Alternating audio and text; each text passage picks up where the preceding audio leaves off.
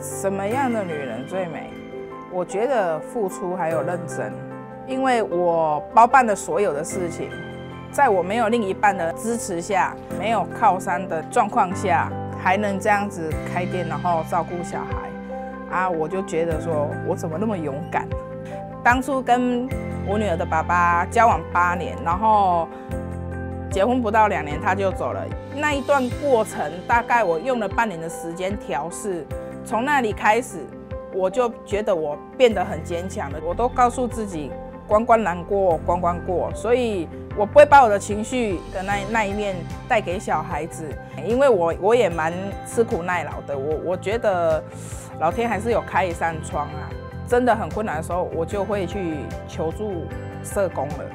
其实我们嘉义县有很多的社服中心，那当他遇到经济弱势的的情况的时候，他其实可以找呃社工去求助，我们会协助他申请相关的社会福利，因为其实照顾跟经济很容易牵扯在一起。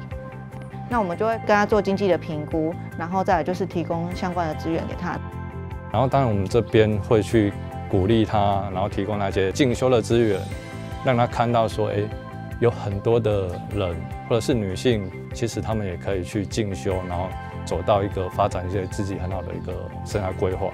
之后造福考到，你在职训造福都真的考到，也可以考虑再进修啊。这两个礼拜读完就有证书出来了，他也蛮鼓励我去考长照的啦，因为他看到我。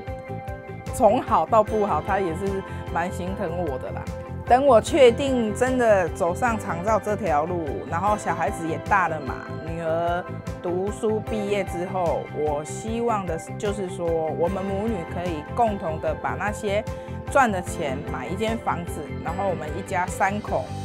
可以快快乐乐的住在一起，又或许说爸爸妈妈带过来住。有时候我看新闻啊。看到一些妈妈啊，都会带小朋友去做傻事，我都觉得说，阿玲写的拱啥啦，青春还那么长，不要浪费你的时间在那种负面的负能量那边啊，要做你该做的事，嘿，年轻不要留白，真的。